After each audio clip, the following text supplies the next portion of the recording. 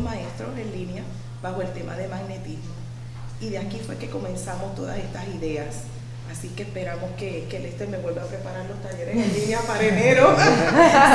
Hay mucho trabajo para Lester aquí en Puerto Rico. Sí, eso fue, eso fue fenomenal porque ahora mismo, gracias a, cuando yo doy el acercamiento a la directora, le digo, tenemos unas nuevas plataformas. Quisieran ustedes ser los primeros, el programa piloto de probar las plataformas. ¿Y por qué?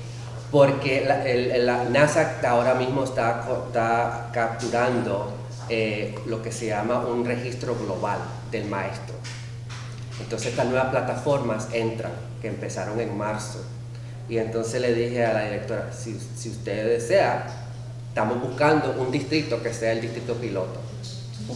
Y fue Puerto Rico. ¿Qué mejor que Puerto Rico? Qué mejor que Puerto Rico y le doy una anécdota más todavía. La plataforma la bastieron, o sea que tuvimos que agarrar nuevas licencias, nuevos cuartos eh, electrónicos, porque no dimos abasto con lo que teníamos. Eso a NASA le dio una impresión, porque la necesidad existe y nosotros creíamos que los cuartos electrónicos iban a aguantar nada más 50 y no aguantaron los, los 500 maestros que se inscribieron. Sí, con Puerto Rico lograron probar. Probar los límites, los límites de estas plataformas. Y entonces la plataforma la estaba proveyendo una universidad en Texas, Texas State University. y, y, ese día se cancelaron toditas las clases electrónicas, o sea, toditas las clases digitales porque eh, cuando entró Puerto Rico a probar el programa, se cayeron el resto de clases. Todas las clases de Master, de PhD, todas las clases de, educación remota, todas se cayeron. Se cayeron. de tanta entrada que, de tanta entrada que hubo, se, cayeron.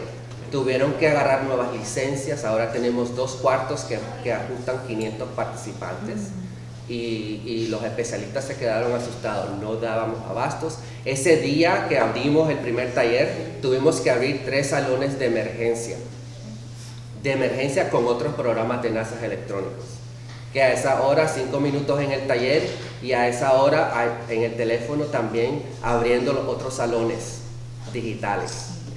Y, y, los salones se llenaron enseguida porque el maestro que ya no entraba al salón principal rebotaba a los salones alternos.